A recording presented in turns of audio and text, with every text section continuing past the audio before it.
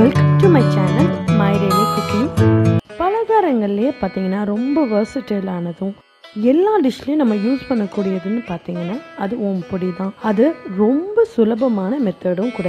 வாங்க இந்த சுலபமான ஓம் பொடியை எப்படி பண்ணுறதுன்னு பார்த்துக்கலாம். முதல்ல இதுக்கு தேவையான இன்க்ரீடியன்ஸை எடுத்து வச்சுக்கலாம். ஒரு கப் கடலை மாவுக்கு கால் கப் அளவுக்கு அரிசி மாவு மஞ்சத்தூள் கலருக்கு உப்பு உங்களுக்கு தேவையான அளவு ஓமம் ஒரு மூணு டேபிள் ஸ்பூன் அவ்வளோதாங்க அடுத்து நம்ம எப்படி பண்ணுறதுன்னு பார்க்கலாம்.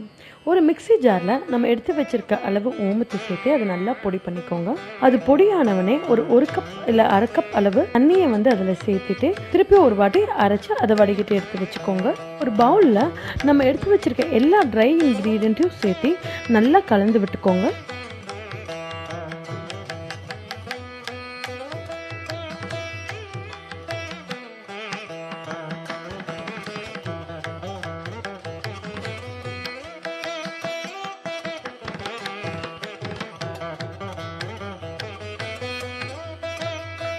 அதை நம்ம ஃபில்டர் பண்ணி வச்சுருக்க ஓம சேர்த்துட்டு நல்ல ஒரு சப்பாத்தி மாவு பதத்துக்கு வர மாதிரி நம்ம பிசைஞ்சு எடுத்துக்கலாம்.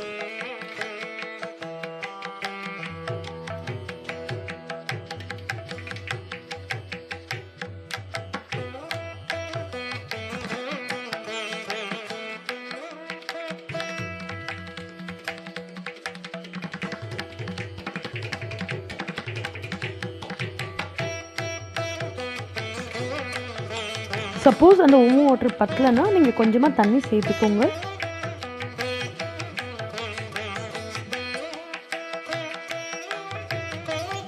இந்த மாதிரி நம்ம இடியாப்ப கட்டையில் வரக்கூடிய இந்த ஓம பிளேட்டை எடுத்துக்கோங்க. அதை இந்த மாதிரி இடியாப்ப கட்டையில் ஃபிக்ஸ் பண்ணிவிட்டு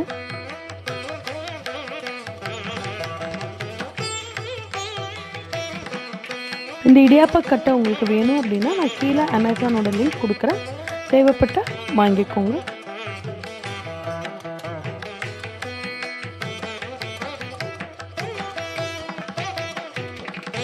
நம்ம ஆல்ரெடி ரெடி பண்ணி வச்சுருக்க அந்த ஓமப்பொடி டோவை வந்து இதோட உள்ளே வச்சு டைட்டாக க்ளோஸ் பண்ணிவிடுங்க எண்ணெயில் விடுறதுக்கு முன்னாடி ஒரு முறை இந்த மாதிரி எல்லா ஹோல்ஸில் இருந்தும் மாவு வருதா அப்படிங்கிறத செக் பண்ணிக்கோங்க. அடுத்து எண்ணெயை வந்து நல்லா சூடு பண்ணிடலாம். எண்ணெய் நல்லா சூடான உடனே நம்ம வந்து ஓமப்பொடியை டேரெக்டாக இந்த மாதிரி புளிஞ்சு வச்சிடலாம். இது புளியிறப்போ கொஞ்சம் கேர்ஃபுல்லாக இருங்க. ஏன்னா கையில் ஆவி பட்டுரும். ஸோ நல்லா எண்ணெய் காஞ்ச உடனே அடுப்பை மீடியமில் வச்சுட்டு அதுக்கப்புறம் புளிஞ்சிட்டு திருப்பி அடுப்பை ஹையில் வச்சுக்கோங்க. அந்த வகையில் உங்கள் கையில் வந்து ஆவி பறக்கிற இதை வந்து நம்ம அவாய்ட் பண்ணிக்கலாம்.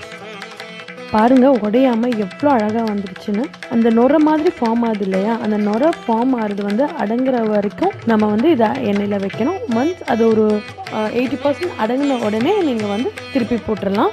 திருப்பி போட்டாலும் திருப்பி உங்களுக்கு அந்த நுரை ஃபார்ம் ஆகும். அது திருப்பி ஒரு எயிட்டி பர்சன்ட் அடங்கின உடனே நீங்கள் எடுத்துடலாம்.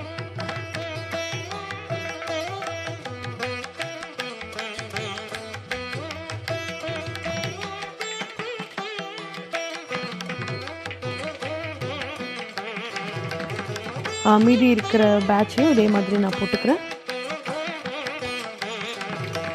அவ்வளோதான் இப்போ நீங்கள் ஒரு கிண்ணியில் வந்து எவ்வளோ